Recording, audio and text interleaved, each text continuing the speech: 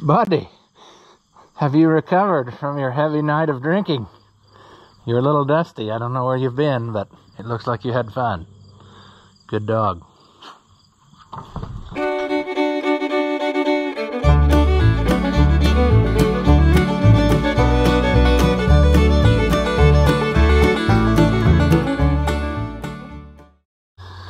Welcome back. If you haven't seen my videos before, I'm Ross the Oliver Man. And today, we're going to take a trip on our old Fiat friend, the 1365. We have some more dirt piles to level over at my dad's house. I went yesterday with the Deere tractor and loader and got them knocked down, but then I can use this little soil land leveler jobby here, whatever you want to call it, land plane, that's the word I'm looking for you can use that to make it really more better. And I'm looking and I did not disconnect the battery last time and it didn't burn up. So I guess everything's good. We'll see if it doesn't start. I told him he had to get me some diesel fuel because I think I'm running on fumes on this, but the only bad thing about these little foreign tractors is they are not my size. I'm much too large. It's hard to get on and off of them. That one, even more, you know. At least the Italians gave you a little more room. But anyway, we got lots of work we could be doing. We need to put more roof on this before winter. There's just so many things I should be doing, and there's only one of me. So, okay, yeah, see, we're in the red zone, so, oh. Safety switches. Yeah. Uh-oh. Come on. There we go. It hadn't been running a while.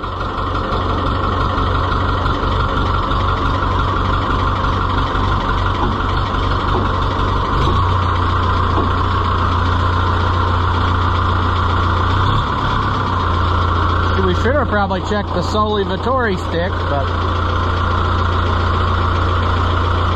It's still in the normale, so we're gonna roll with that.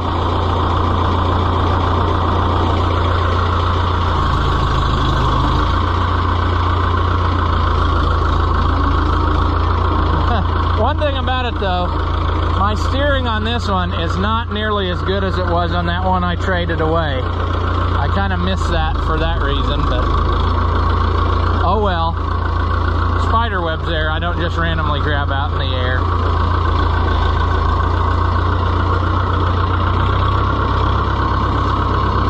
We got our stuff is charging. Our only trouble now is our tachometer has left the building.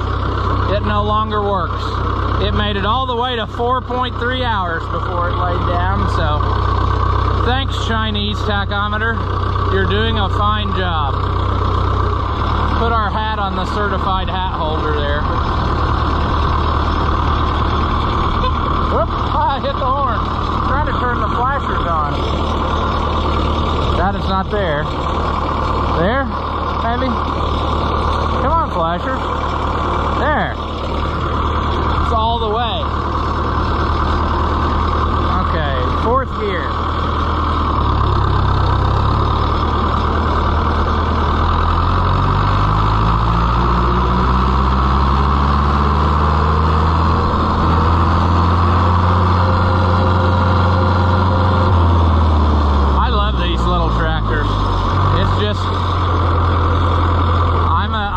Charles City ones, but I have to tell you, as far as a utility tractor goes, these little Fiats are probably the best.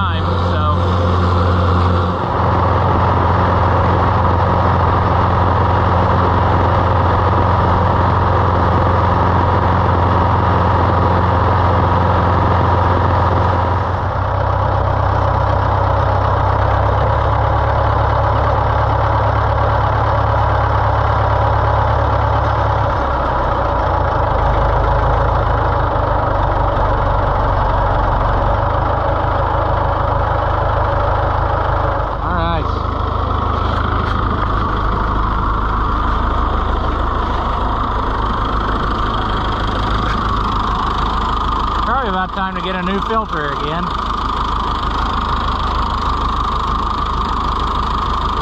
Oh, it sucked that all the way shut. Interesting. All right, that's more better. We got like a half a tank now. We're not running on fumes.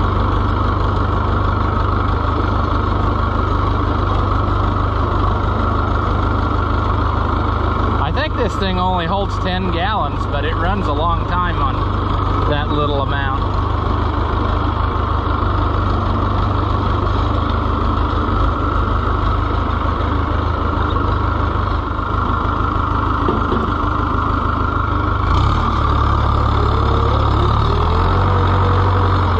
I don't know if we can do this any good or not. But... Sure. Yep, now we're stuck.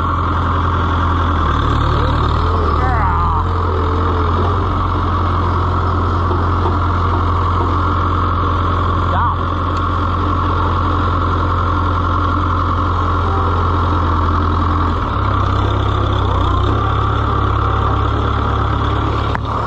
Pretty rough.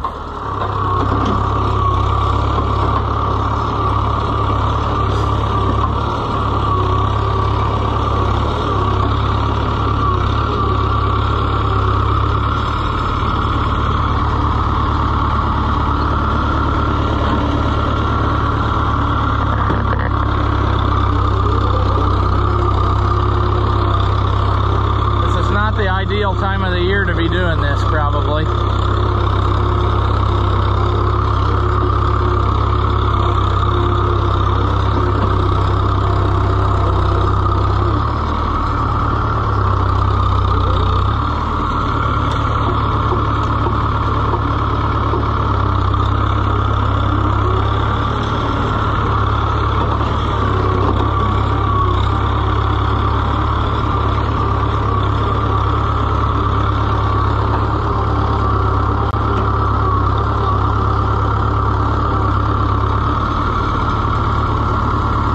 There was a hole there, but I got it filled in pretty good.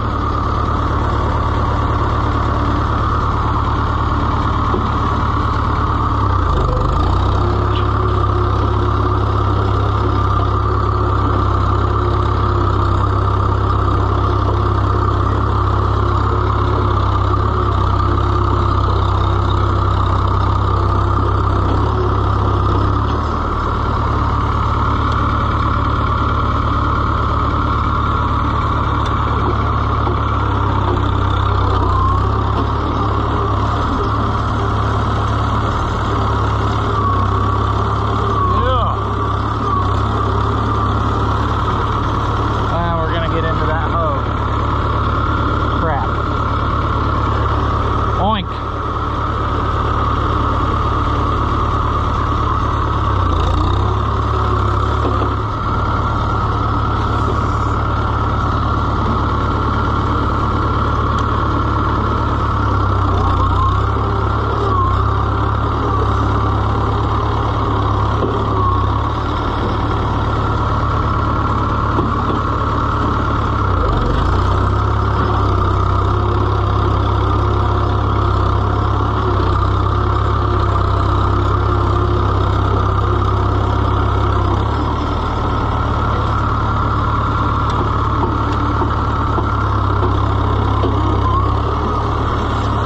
It's coming along more better, but I think I'll have to set you down.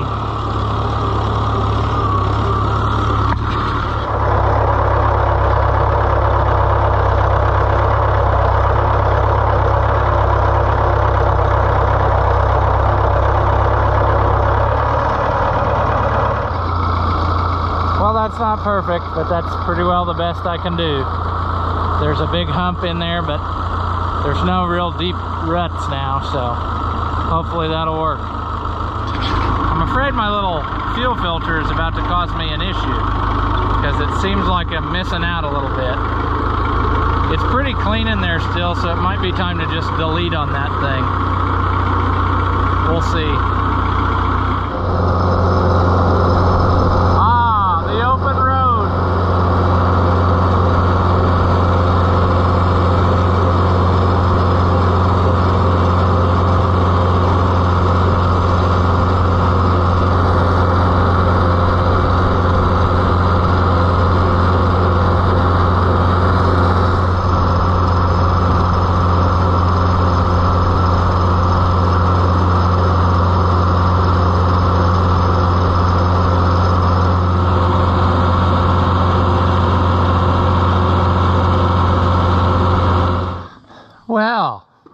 Italian Stallion did a pretty good job today. Can't complain, except for one thing that I forgot. Remember how that leaked? Yeah, it's still leaking.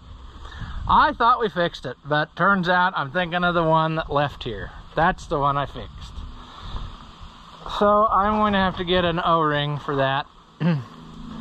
and looking like probably the other side, which we've never done. So that will be an adventure, I'm sure. I think they're actually, and I don't quote me on this, but I think they're two different sizes that the step, what am I trying to say? That that shaft is stepped and it's actually bigger over here than it is over there maybe and it, if you'd have to take it out you take it up through this way I don't know but what I do know is we're going to have to fix them because they're getting to the point where it's losing a significant amount of hydraulic oil every time you run it.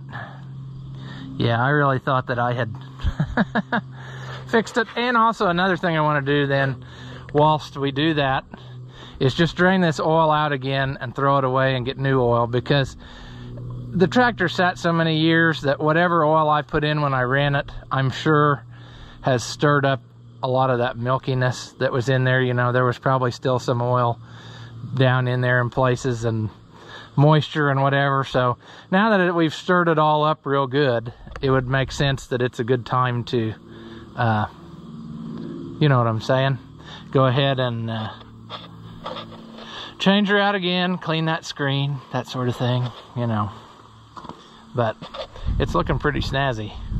Like that short video I put out the other day was a, well, it's the day that I'm doing this.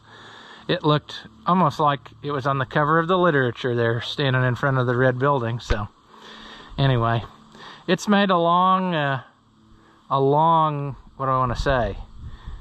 not recovery, but it's kind of a resurrection, I guess you'd say. I mean, it really, it's come a long way. That's what I'm trying to say from where it was, because it was in baskets, basically. So, yeah. Oh, there's something else we can do to it today, which we might as well do. I know it's going to be sadness, but hey, we like sadness, and we might as well have it now. So just a second, let me go grab it, and I'll show you.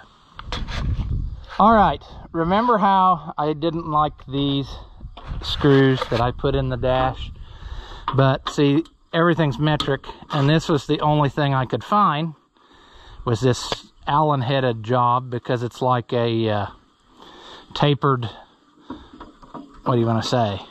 I can't think of good words today, but you see what I'm talking about. The head is tapered. Originally, they were Phillips head screws. And the reason I didn't like these is because I was afraid that we would strip them out, as we did on that one. So we have to, we're going to be drilling that out in a second. But the other day, whilst at an unfamiliar auto parts store in a different town, on a whim, I saw these hanging there. It says, disc brake rotor retaining screws, help. And that's what I need, help. But I looked at the back and it has 8 M6 and 8 M8 screws and this just happens to be M8 so this is exactly what I needed so I'm going to swap out for these I'll put a little of the anti-seizure on them again I think even though there's probably enough in there to last us but hey what's some more I don't have any on me today so I might as well wear some then we'll figure out what we're going to do here. Because like I said, we don't need in here now, but we might as well do it now than when we need to get in here. So, yeah, let's do that. Well, if there's anything I like, it's severely making a mess with anti-seize. So, let's do that.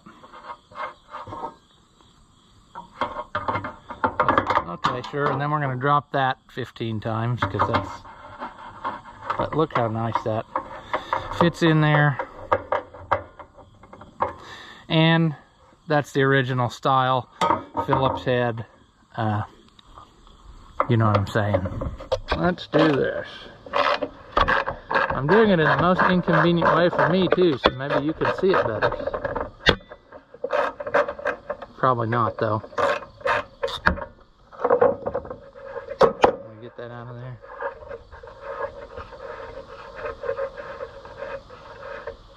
Yeah, see, in addition to being a goofy head style, these are extremely too long. They don't need to be that long to hold the dash. Mm-hmm.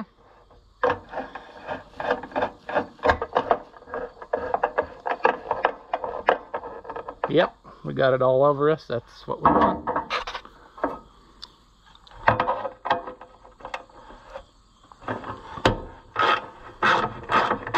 Things just set up in there. I mean, I don't know why, but I'd rather not do that thing.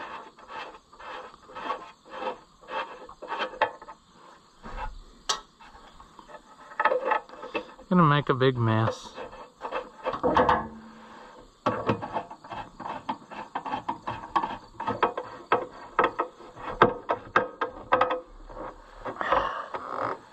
Yep. All right, what variety of sadness are we going to go through to get this? I predict a bunch because that's how we roll. I found a nasty dirty rag on the platform. So let's just use that to wipe the anti-seize all over everything. Yep, that that looks snazzy. Yeah. Nothing like anti-seize all over green paint. Oh, okay. Well.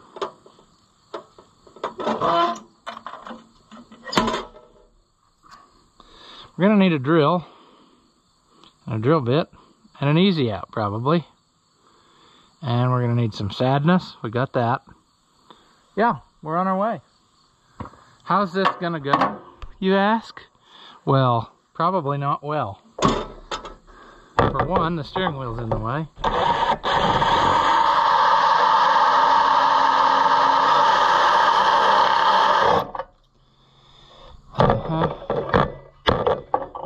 We're gonna break through and hit the threads that we don't want to ruin. That's what my my wondering is. Okay, well we're ready. Let's go get a different one of these. Naturally, the one that it's going to be was stuck in something. So sure, that's not really deep enough, but we're going to try anyway. See what I said? The steering wheel is the problem. It's right in the way. Come on out of there.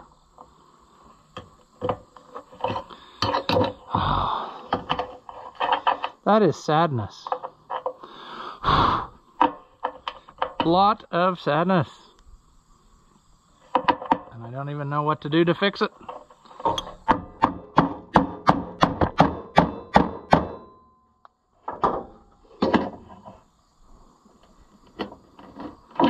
Man.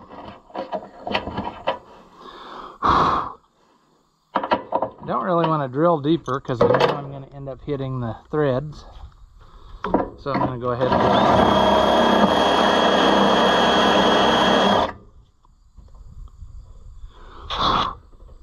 Jeez. I regret buying these bolts. Come on.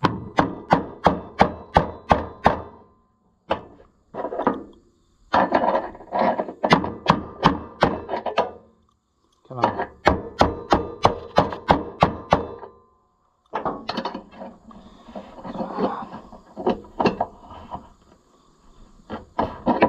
Man. This is stupid.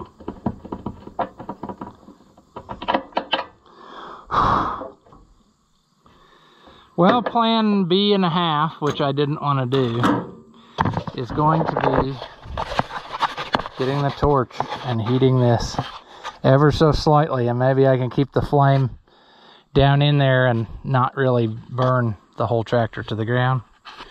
So I guess I'll back it up a little so that it's closer.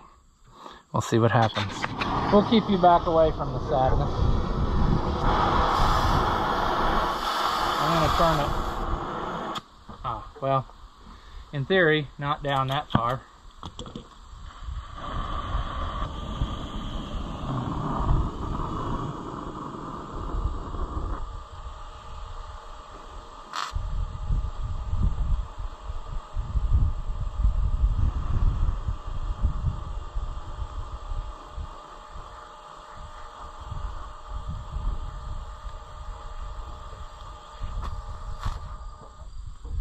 Okay, that's probably enough.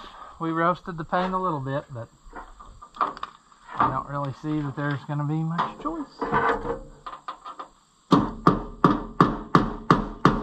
So now instead of letting it cool, I'm just going to hammer it home, see? And it's going to come right out then.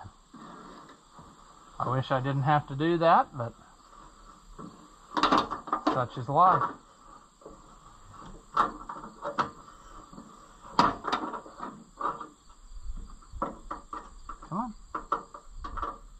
The dash isn't very good anyway, so eventually I'll probably repaint it. So until then, this is just a little more character that it's going to have. Oh, and we were just, just almost into those threads. I'll show you here in a second with the drilling. It's burning hot, idiot. Don't touch it. Yeah, see how close it was? I don't know if you can see that or not. But we just almost broke through. And that would have made it a lot more difficult. Alright. I have none meadow green paint left. So, I couldn't touch that up if I wanted to right now. But I'll get it later. But that looks much more better. Authentic E. The originals were actually kind of domed, but we're not going to be that particular. We at least got the right type of thing. And I think those will hold up better maybe than those Allen-headed jobs where, you know, maybe in the future we'll be able to just get them loose. Next time we got to get in there, which will be the time that we replace this brand new tachometer that does nothing. So, yeah, that'll be that'll be the next adventure with the little feller. All right, so I think we're gonna call that a video. We got to see the 1365 again, we got to use it, and we got to fix on it. So not a whole lot more we could do on that.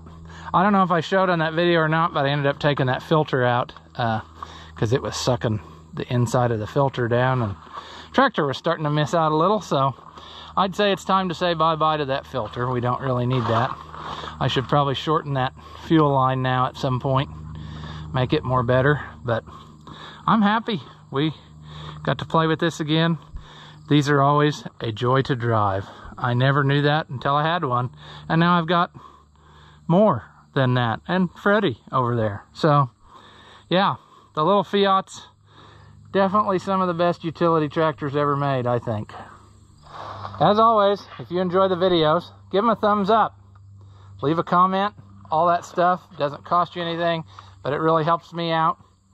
And as always, thank you for watching, and I'll see you in the next one.